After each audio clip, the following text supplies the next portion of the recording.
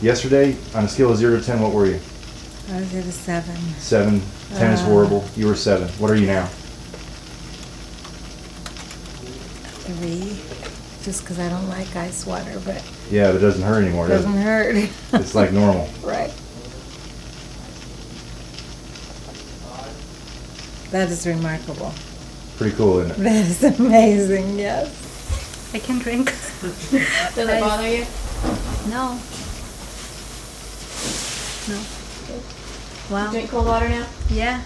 and with ice. I never drink with ice. Awesome.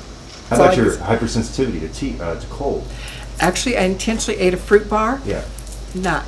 no problem. No problems. Whereas a week or two ago, if you'd have done that, you'd had a problem. Yep. When you gave me the ice water to swish around, I had certain sensitivities They're gone. gone. Ice water, see what it does. Yesterday, what was was she? seven. She was a seven out of ten. I don't have any sensitivity. Like- Like, I drank iced tea today, hot coffee. It, It- doesn't bother me at all. Nothing. Okay. Try it again, make sure. Switching with ice water. It's, it's all good? Yeah, I mean, like I said, maybe a one compared to like the seven before. Like I'm not having the zinging that I normally have down there. I mean, really swish it around. Do you feel any sensitivity? It's a trip. What do you feel? It's Zero- just zero to ten. very, very slight. Well, it's supposed to be a little bit, right? Time for a cold beer. Yeah. Sorry. Would you say, what, a one? A zero? a two? Probably a one. I'm not enough to even bother me. Ex- Excellent. That's remarkable. I like that. Yeah. Wow. Think that for you. Awesome. Told you to do this. So is does everybody have Most. wow. It's profound. Yeah, it's cool. It's a. It's kind of a hybridization of like dentistry and neurology. The trigeminal nerve is the fifth cranial nerve.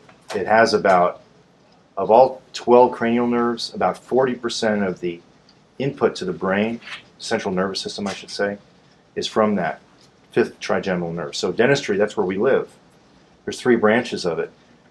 And these muscles, or excuse me, these nerves, they don't just innervate the teeth, they innervate the muscles. But no dentist ever talks muscle. How many times have you been talked to by Never. dentists about muscle? Right. The reality is, most of them, they're just looking, you know, like I told you earlier, there's a big forest, the head and neck. And most dentists concentrate on just the center of the forest. They forget about everything else. Mhm. But what really moves, what breaks teeth? Like you've broken a tooth before. What, what do you think happened? Uh, just clenching down too hard. right? And what let you clench? How did you? What what affected the clench? Uh, Muscle. Mm. So when you walk in, or anyone walks into a dental office and they have a broken tooth, typically the dentist is like, "Oh, that old filling weakened your tooth. The filling broke the tooth, or the popcorn did, or no, no, no, no, no, no. The muscle broke the tooth. It may have. The tooth might have been structurally compromised slightly from the filling, mhm. but the reality is, what really caused the damage was the muscle. And many times it's due to hyperactivity of the muscles because there's an imbalance in there. So the dentist, he just does his job as a technician because sadly that's what they are when they're just doing their job and they're not thinking about it. But what dentist talks muscle. Most never know this. So they just put a crown on that broken tooth and then they break the porcelain off that crown a few years later. Or they start breaking other teeth. And they just think, oh, you're getting old. And no, it's this. Mhm. You see where I'm going with that? I do. kind of makes sense, Mhm. right? Because, like I said, when te- sensory organs that are teeth talk to brain and say there's an imbalance, brain doesn't like it, so he sends his workers, the muscles, down to even it out, whatever it takes. So it's always cranking out the muscle juice. Wow. I had no idea. So now we've relaxed that, Mhm. we've balanced that out. So neurologically, the input going to the brain is the guy up in the control center looking at his timer. He's happy with that. So he's shutting down the efferent output to the muscle, in other words, back to the body. He says, You don't have to work anymore, guys. So they're shutting down. It's like this overworked engine is now getting a breather.